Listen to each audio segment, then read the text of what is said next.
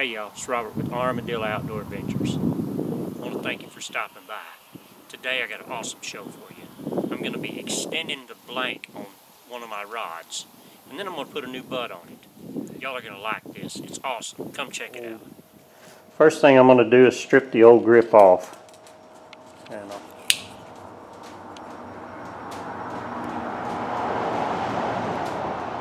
I'll cut in and go all the way down it a few times. I'll go, I'll cut deeper whenever I can get both hands on it. But I'll cut down, get my few, myself a few slits, and in a few different places, and then I'll rip it off there. All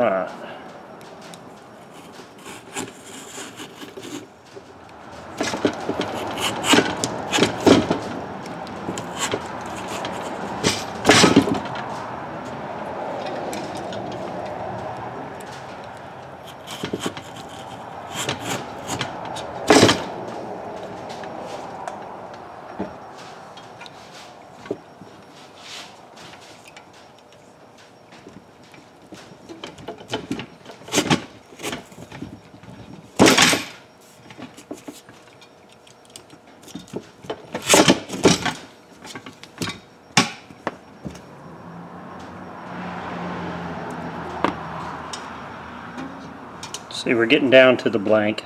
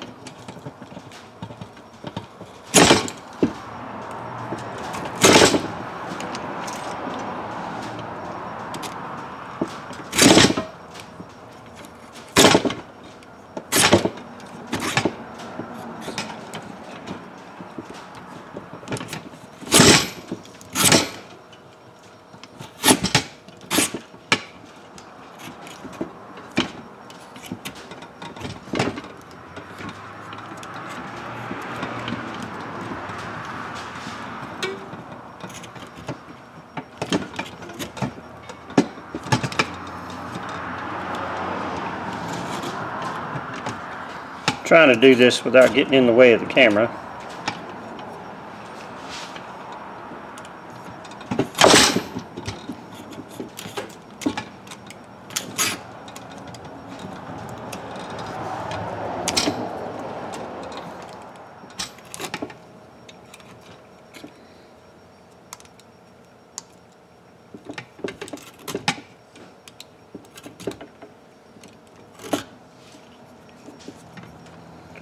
and that's where I got.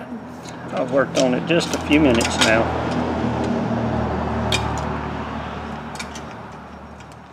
Okay, next thing I do is take the handy dandy palm sander and clean up what's left.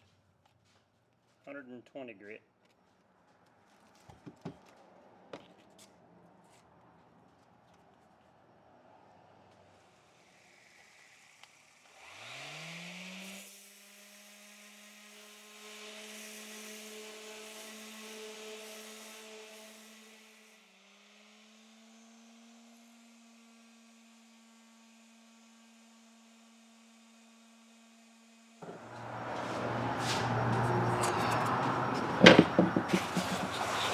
Next thing I do is take a little bit of paper towel and some rubbing alcohol. Clean it up.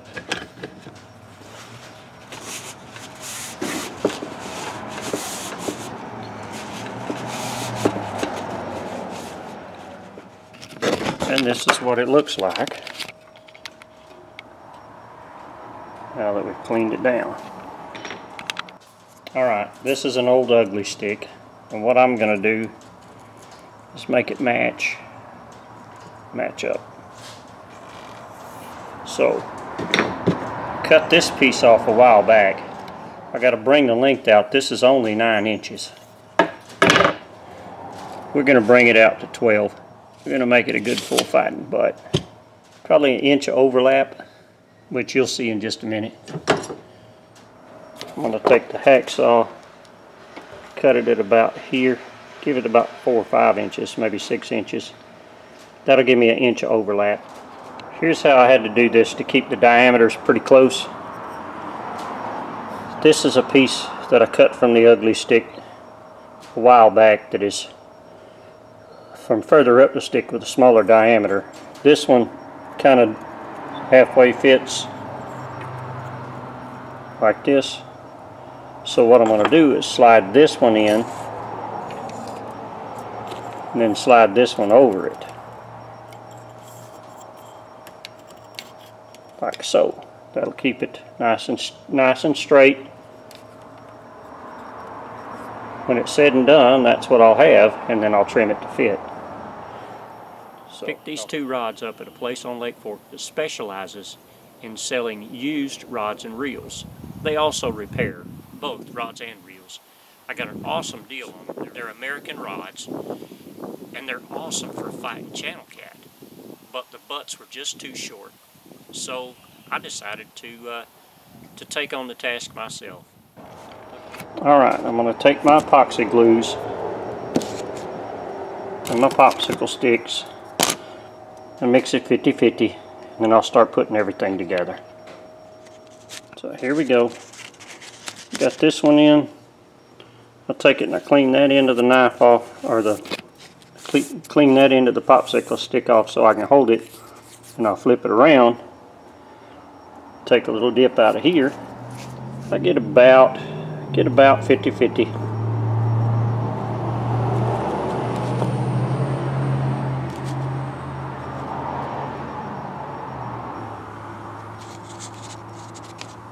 Then I'll mix it up. I'm going to use my other hand. Alright, I got it mixed up where it's a pretty consistent color right now. Take the smaller diameter piece. Take a little bit of this put it on about where I think it's going to connect the best.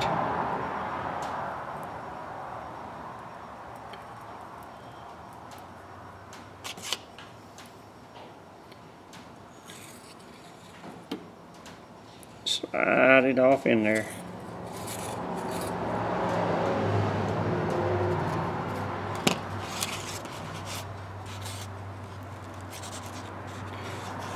Yeah. slide it off in there like that right there. Take my handy dandy popsicle stick.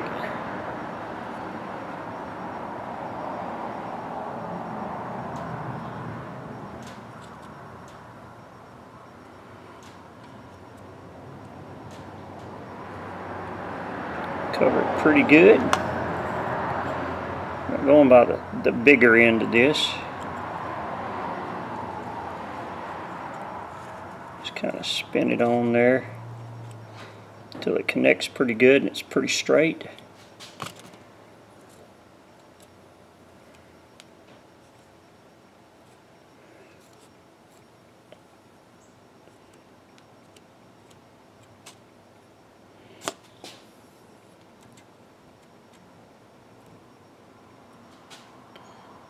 And that looks pretty darn straight to me. And I take my paper towel with the alcohol on it. I like that. It ain't going nowhere. Alright, we're going to take this to 12 inches. I'm going to let that dry good enough to cut it off. I'm going to cut I'm going to cut my EVA at 12 inches. I'm going to cut that about a quarter inch long. Go ahead and clean my bench again.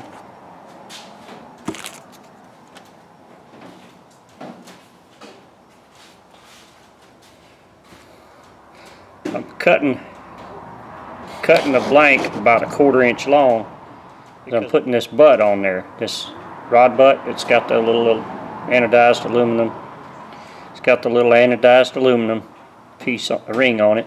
Nice uh, trim ring, kind of puts everything together. Um, fits really good. I think it'll be real nice. So I'm going to cut this at 12 inch, cut the EVA at 12 inches. If you can see it, it's pretty nice. I marked it wrong, but it'll be all right.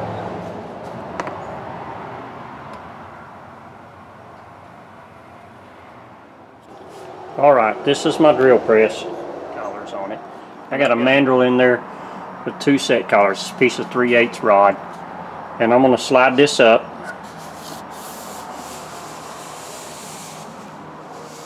All the way to the top and you can see the cut mark. Now it's going to turn counterclockwise, up looking up from the bottom.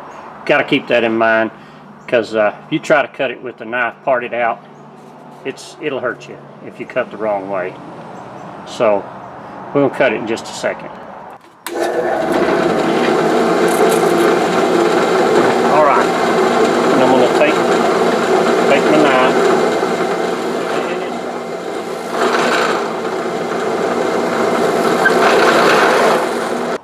All right, once I got it parted, we'll put the set collar on the bottom of it. Kind of squeeze it up in there a little bit. You're getting tight so it doesn't slip. It kind of sets it solid. Alright, I want to kind of match my ends. I'm going to take and I'm going to measure the outside of my butt cap. Right here. Which I'm measuring it an inch 35 right around there an inch 35 1.035 and then here the butt or the end of the reel seat. Is right around an inch 100 so if I can get them pretty close to that I'll be be good. Each end I'm gonna work to get close. I'll just put a taper down to each end. I use a little bit of sandpaper. It's just 150 grit. Stick it back. There we go. We're getting there to clean up. Take it on up. Go get a little warm. Gotta have your paper resting against it or it'll try to wobble on you. Okay, we're gonna make the bottom end a 1 inch 035. So I gotta take a little bit more off of it.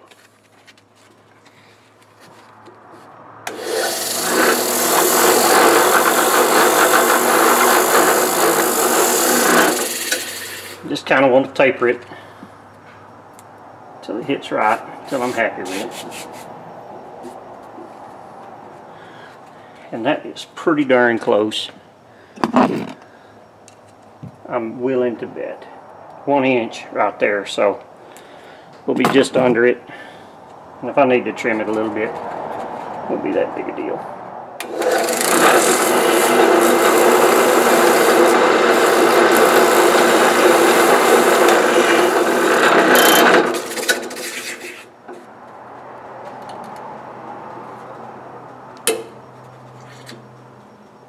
See, just a regular set screw, set collar, regular set collar.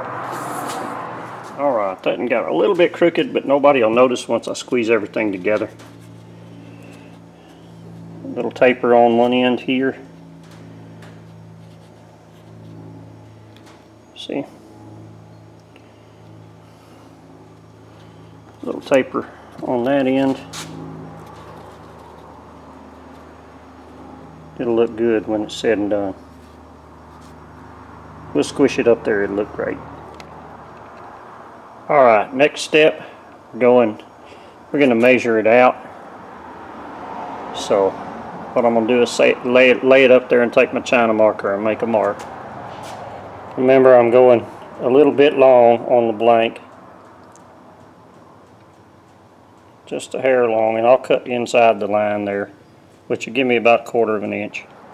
Alright, once we're at this point where I've just cut the tail end of the blank off to fit the needs, you'll notice it's just a little long, maybe quarter inch. I may have to trim it some more.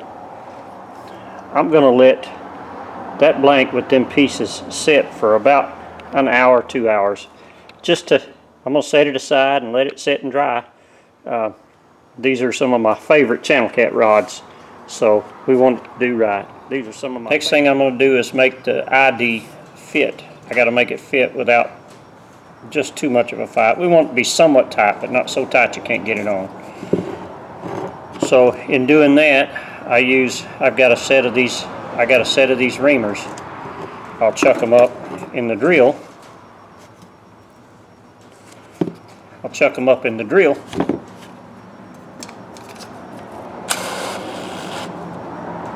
And ream the inside out.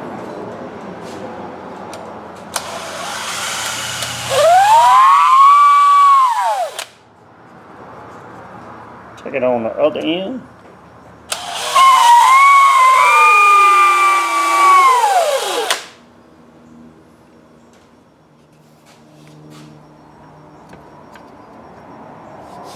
All right, we're going to step up to the next reamer.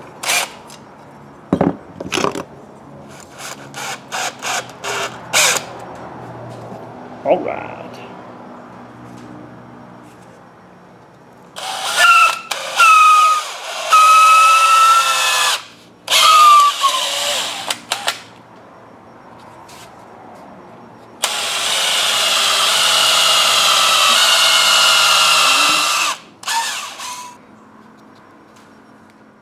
All right.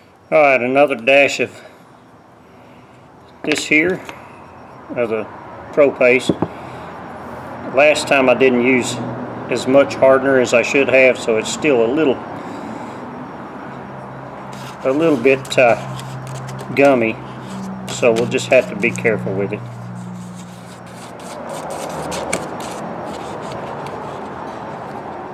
Yeah, here we go. Mixing it up. Try to get one consistent color. that rod butt right in the way. Alright, see? And then I'll put on about the back. I only like to put this on about the back two thirds when I'm doing a grip. That way, as I'm sliding the grip up on there, because it's not completely easy to get on there it's dragging it up there with it. What I take off, what I clean off of this other end over here, whenever I slide it up, what I clean off of this end I'll use to put the butt on. Otherwise I'll just mix some more, not a big deal.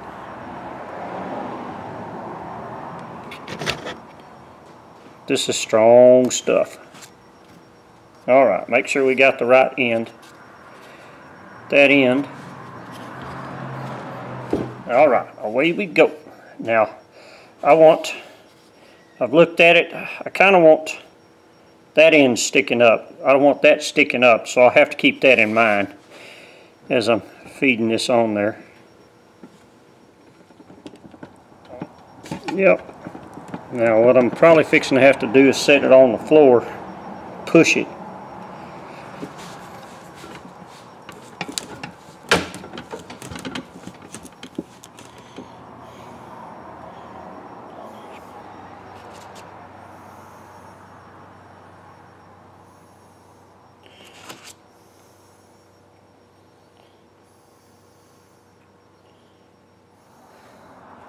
after a straight up bare knuckle fight, I got it on there.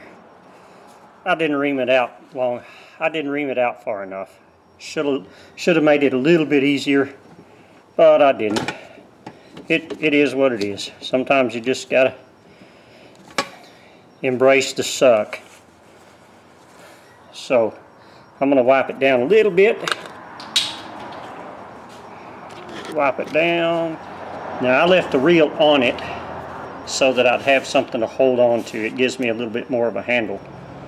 Now I'm putting the butt cap on it. The end sticking out just a little bit. Um, what I'm going to do is, is take and put some of this in, in that butt cap. And we'll take the rest of this is what I've taken off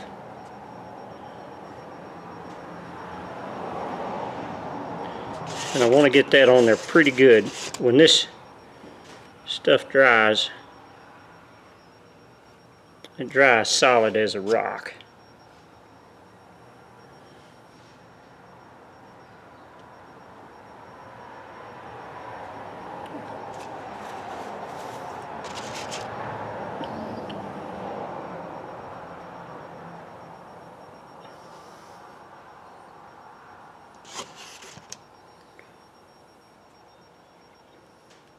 I like that.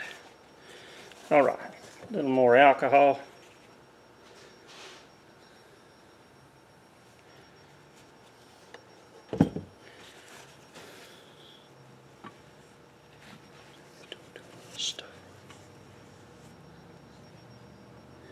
I'm keeping pressure on the end of that butt.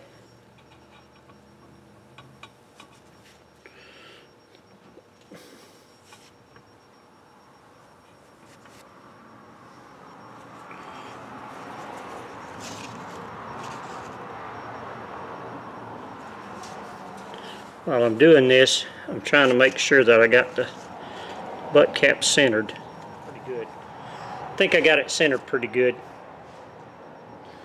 Give it a good look over. Take another piece of paper towel. Wipe the whole thing down pretty good. With some alcohol.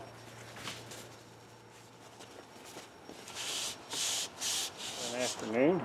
I'll let it sit in the rack till tomorrow and I'll come back and she'll be good as she was supposed to. I may straighten up the, the foam on it a little bit but other than that she's ready to go. Alright here we go. We got the butt on it.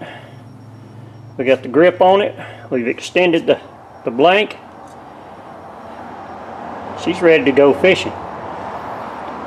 This will make an awesome channel cat rod. It was before, it was just hard to fight with no leverage with the, only a 9 inch butt and it was ugly. So this will make an amazing channel cat rod. And I appreciate y'all for watching and uh, we'll catch you on the next go round. These two rods turned out sexy and they're very good for fighting channel cat. I'm super happy with what I did. I want to thank y'all for stopping by. I had just a great time with you. I learned a little something. I hope you did too. Everybody here has helped my channel to grow like wildfire. I'm so grateful to you. Just like I always say in all of my parting shots, if you get a chance, shake the hand of a vet or a first responder, a police officer, fireman, any of them. Tell them how much you appreciate it. Until next time, Y'all have a good one.